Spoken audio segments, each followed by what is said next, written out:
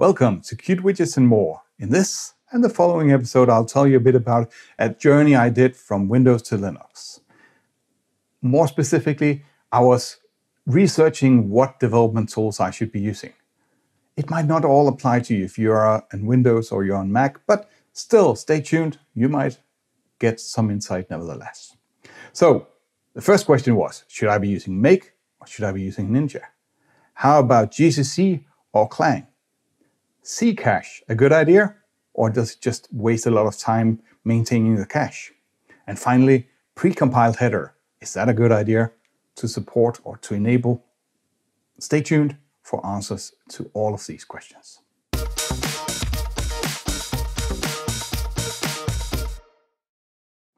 Chances that you're going to work on my code base is rather limited.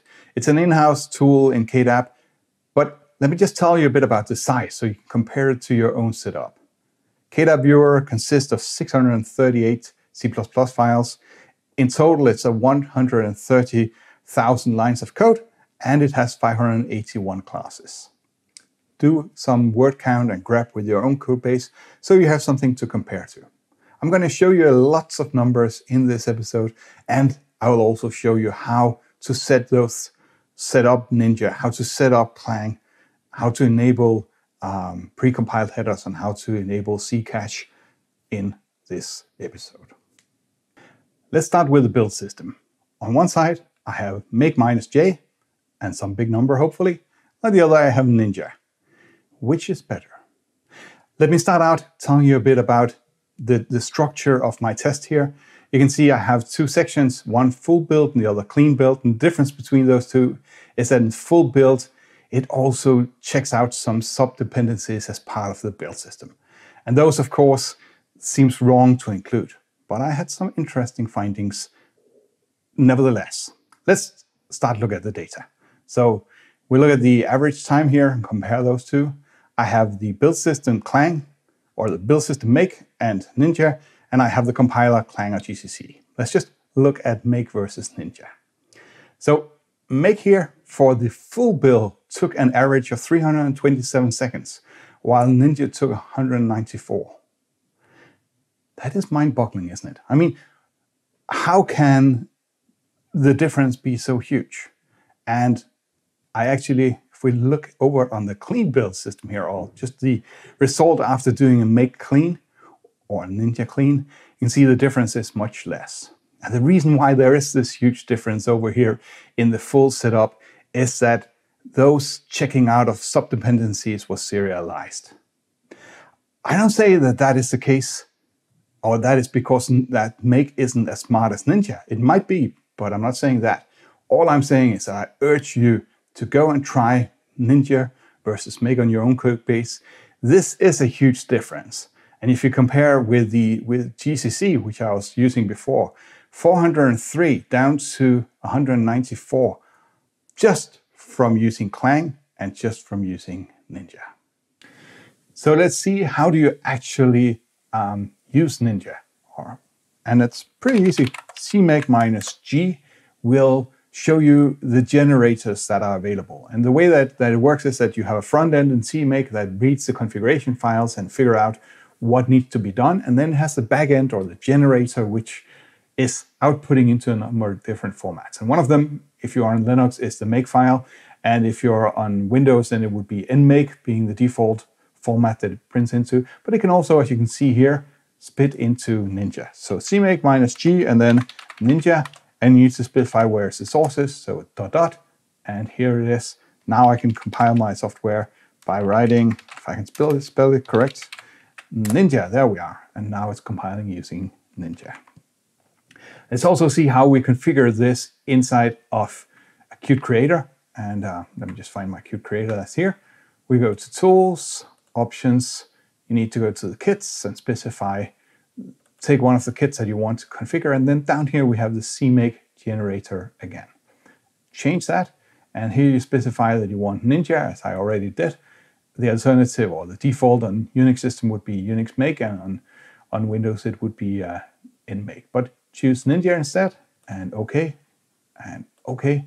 And if you chose a new build system this time, I didn't, because it was already Ninja. But had you chosen a new build system, it would recompile stuff for you. And now, from the rest of your QMake session, it is really, or the rest of your, your Qt Creator session, it is just exactly as it was with Make or in Make files, but much faster. If you have ever worked with Make, you know that it can take quite a long time to do absolutely nothing. A Make after a complete Make was done, where there is absolutely nothing to be done, can still take a long time. Let me show you. I'm timing my Make here. I did completely build, and I can do it once again just to, to show you that there was absolutely no changes. It took 1.8 second to come to the conclusion there is no changes. And if your project is like really huge with lots and lots of subdirectories, you'll see that it traverses into them and back out again, and back into new ones and back out again, just to come to the conclusion, hey, there is absolutely nothing to be done. And that is truly the key selling point for Ninja. Let me do the same thing with Ninja. Remember 1.8 seconds. And here Ninja is done in 0.2 seconds.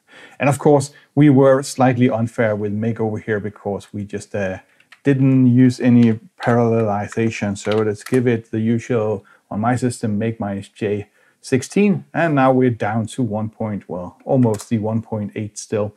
Uh, with Ninja try and do that with make minus j1 and it's slightly slower but still way faster. So make files were designed for human consumption uh, 30 years ago, while Ninja files are, were designed for the Ninja process to read it really fast and be able to handle subdirectories and so on. That's why Ninja is so much faster. But as we saw in the build setup, it is actually sometimes smarter also than Make, where it's uh, able to parallelize something that Make simply couldn't parallelize because it didn't have uh, the same holistic view on the build system as Ninja has. Okay, on to the next part of the puzzle. So Ninja won over Make. How about GCC and Clang? And you can see that I ran them both with Ninja and Make and both in both of the configuration. And in the in the spreadsheet here, if you go to the uh, to the left in my spreadsheet, you'll see all my input data. I scrolled that away just to not scare you. Uh, but you can still see here that if uh, I'm using Make, then the average time with Clang is 327 and it's 403 seconds for, for GCC. Or with uh, Ninja, still a significant difference. And that doesn't change when I get over here, uh, where my Ninja and Clang is 146 and uh, Ninja and GCC is 188.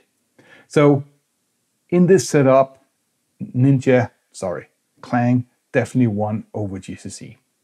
That doesn't say that in your setup that that is the same thing. Your source code might be different your source code might, might be in a, be better for for GCC than it is for Clang. My source code, for example, doesn't have any exception.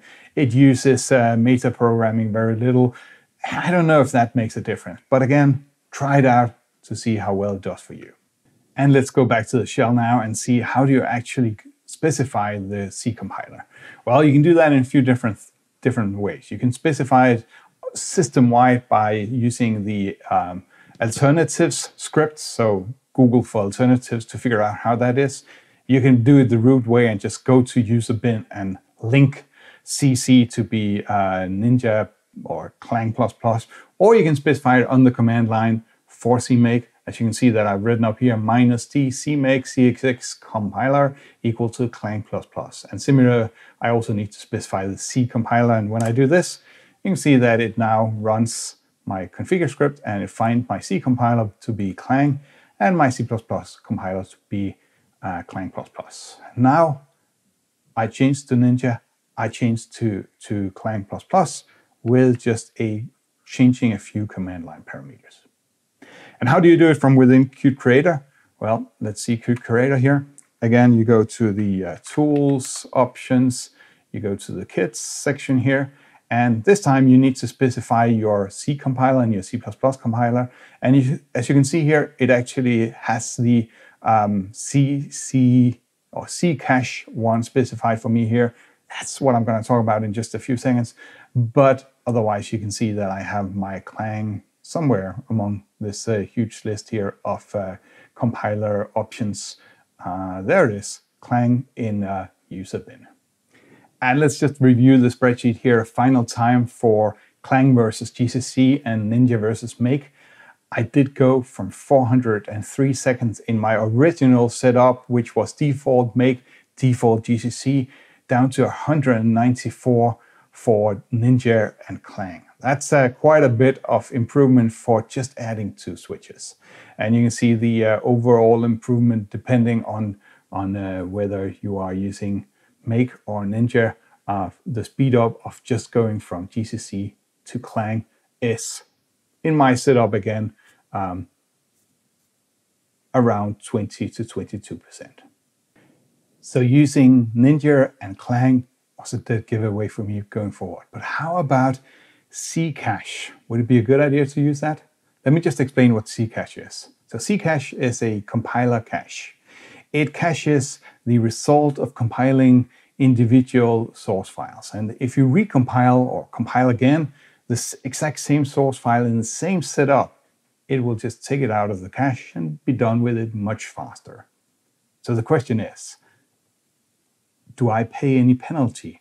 So I did a bit of testing with that and uh, you can see that in this, this spreadsheet here. You can see that on average, it took 148 seconds to compile in this setup here, and it cost me another 12 seconds if I were uh, using the cache. So those extra 12 seconds is for it to write into the cache and for it to actually um, check whether a file is already in the cache.